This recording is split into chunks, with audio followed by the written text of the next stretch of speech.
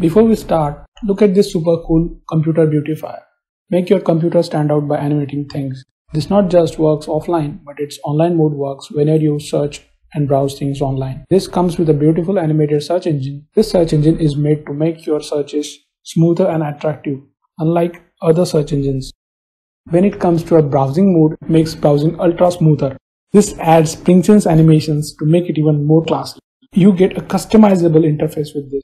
This is Volvo Beautifier. Get your hands on, try it yourself. It is fun when you use it. It is just a three-step process to fix 0x80D02017 error in Windows 10.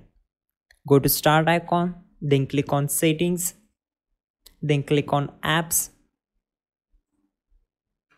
then search here, store, then click here and click on advanced options. Then click on reset, click here. After that close this window Then go to search bar and type CMD. Right click here and run as administrator.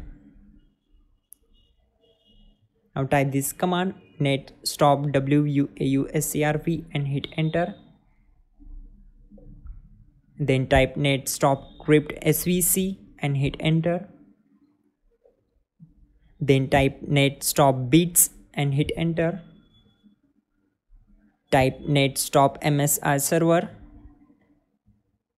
then type renc colon slash windows slash software distribution software distribution dot old and hit enter type renc colon slash windows slash system32 slash catroot catroot dot old